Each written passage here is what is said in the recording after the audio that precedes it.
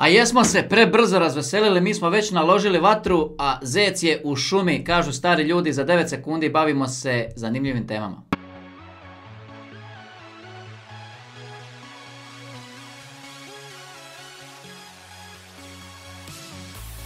Veliki pozdrav svima, dobrodošli na kanal Kripto Teme. Ako pratite Kripto Teme i kriptovalute, ljudi na pravom ste mjestu i ako još niste, tu dolje negdje kliknete, pretplatite se na kanal. Ako ste OG, ako ste već davno ovdje od prije, onda znate pravila. Jedan jedini like puno će pomoći u razvoju ovog kanala. Hvala vam najljepše od srca i dolje u komentare napišite nešto, prokomentirajte. Zanima me vaše mišljenje. Sad se bavimo Argentina, izbori mijeli, svi smo se razveselili kako je on to rasturio ovaj, u svim živim anketama, kako je najavio da će Bitcoin biti taj u njihovoj državi. Svi smo već prošli 100 puta temu, 20 puta ekonomija veća od El Salvadora i tako dalje. I danas gledamo rezultate mijeli i ovaj drugi što su sada u, u, finalnom, u finalnom krugu za biranje 19.11. će biti ti izbori ne stoji baš dobro. Ono što je meni nevjerojatno, znači Argentina je zemlja koja je gospodarski otišla u K, da se izrazimo točno tako, otišli su u K, međutim, Međutim, baš ministar gospodarstva koji je odgovoran za takvo stanje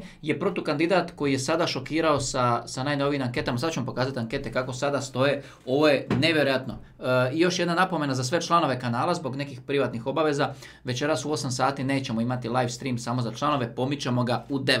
Tako da u 9.00 se definitivno vidimo večeras. A ovo je od danas rezultati ankete. 71% ima masa, njihov trenutni ministar gospodarstva, a naš favorit Milei je na 28,7.